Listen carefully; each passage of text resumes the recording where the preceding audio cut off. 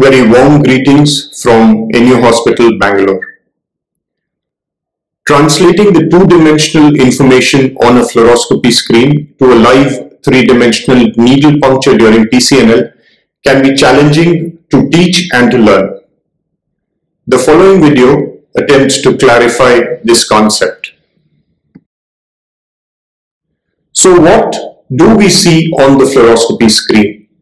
It is important to understand that the image we see is the shadow of the needle falling on the shadow of the calyx. Let me start with the triangulation technique.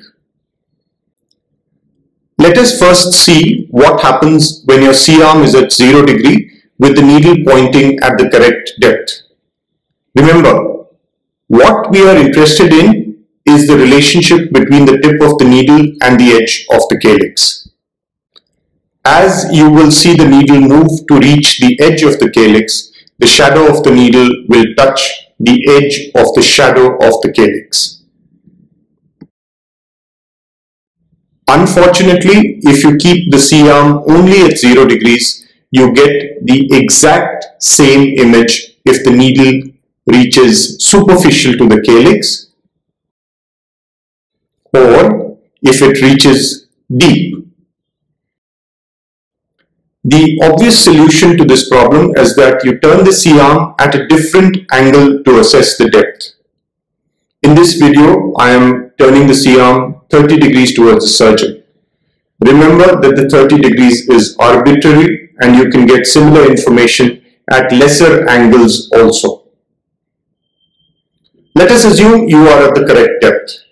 Once the needle has reached the edge of the calyx correctly and you turn the C-arm towards the surgeon, you will see that the tip of the needle will continue to point at the edge of the calyx.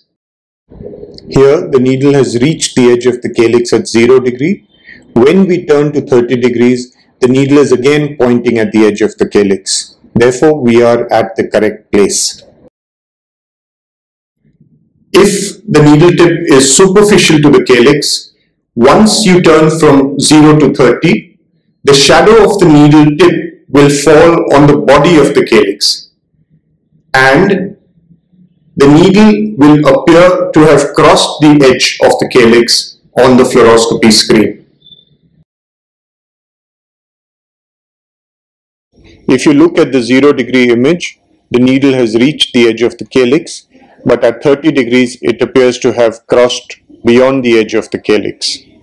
Therefore, this needle is superficial to the calyx.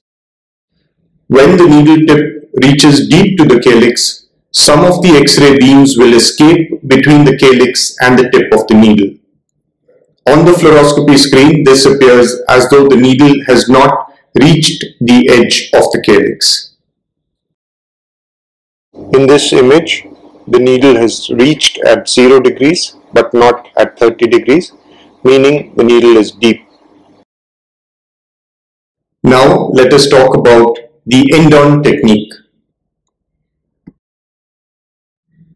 Here we start by placing the needle on the skin pointing towards the edge of the calyx.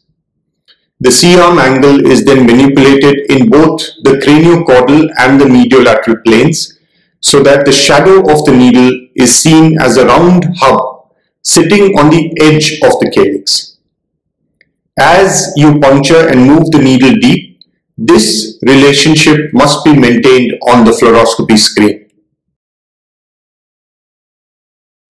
if you are trying an end-on puncture and you can see the stem of the needle on the fluoroscopy screen, then you are pointing at the wrong target.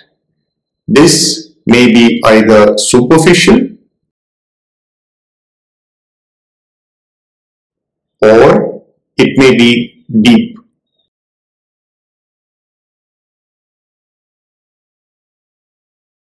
As long as you understand these basic concepts, you can apply them in supine PCNL also. The rules remain the same. Thank you and warm greetings from NU Hospitals, Bangalore.